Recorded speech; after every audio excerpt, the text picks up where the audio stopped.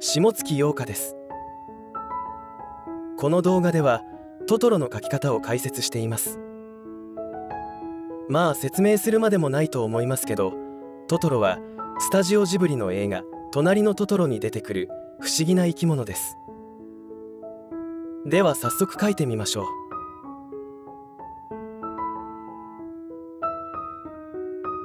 まず目と鼻を描きます。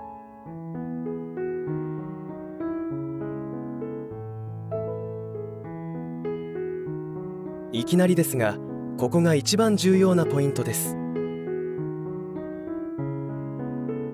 目と鼻は必ず同じライン上に描きます。最低限ここさえ押さえておけばだいたいトトロっぽく見えますが劇中のトトロに近いイメージで描きたい場合は目と鼻の大きさのバランスにも気をつける必要があります。目と目の間隔は結構離れていますね。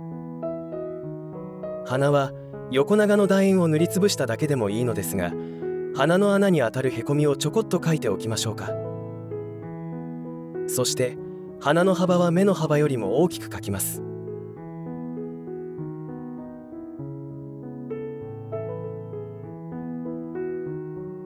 黒目は大きすぎず小さすぎずまん丸の白目のど真ん中に描きます。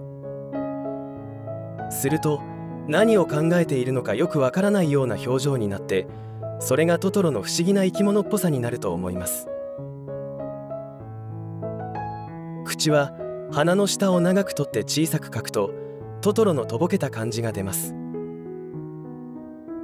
合わせて鼻の上に少しシワを描きます。次は頭の形を描きます。半円というよりは台形に近い形です。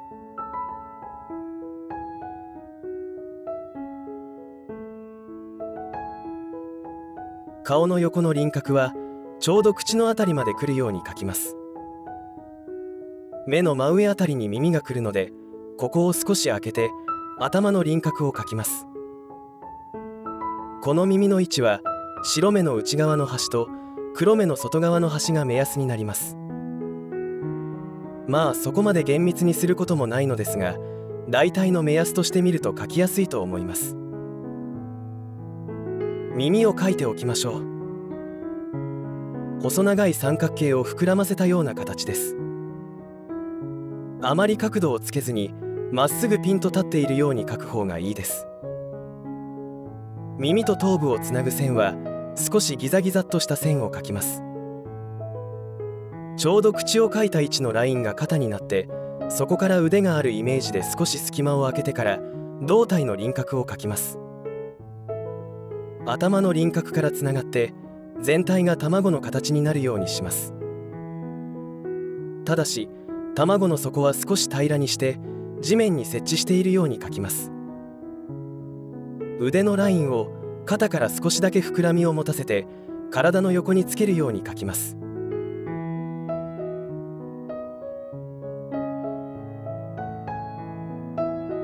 鼻と口の間の両サイドにひげを3本ずつ描いておきましょう。ひげが入ると一気にトトロっぽくなりますね。次はお腹の白いところを描きます。イメージとしては下膨れの六角形のような形です。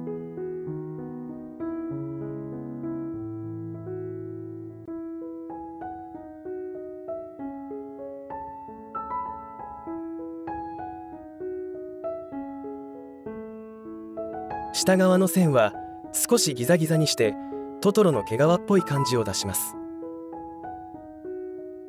お腹のブーメランのような模様を描きます。上の段を4つ描いて互い違いになるように下の段を5つ描くとバランスが取りやすいです。最後に手足の爪を小さく描いたら完成です。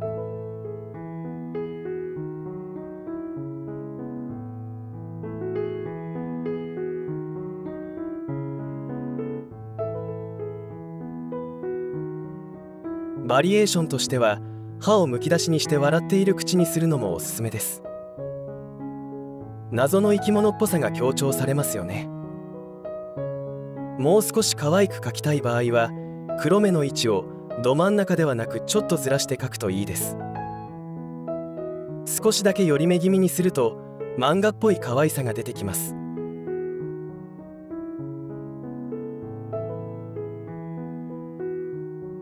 ついでにと言ってはなんですが中トトロと小トトロも描いてみましょう。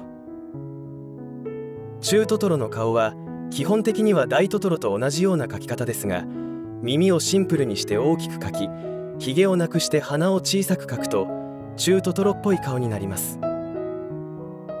大トトロが4頭身くらい中トトロは2頭身くらいですね。お腹のブーメラン模様は3つ。できればどんぐりの袋を担がせてやりたいところです。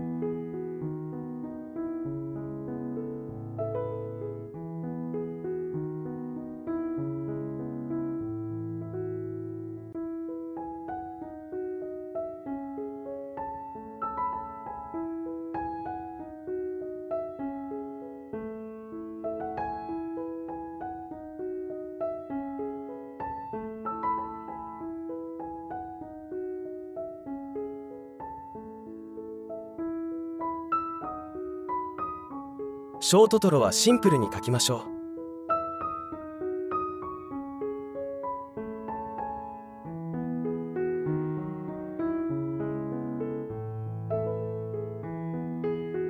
う。足は爪じゃなくて鳥の足のようなイメージです。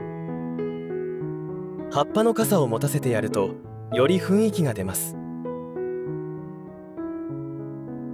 さてトトロの描き方いかがだったでしょうか？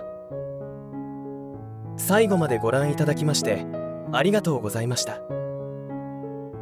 また別の動画でお会いできましたら幸いです。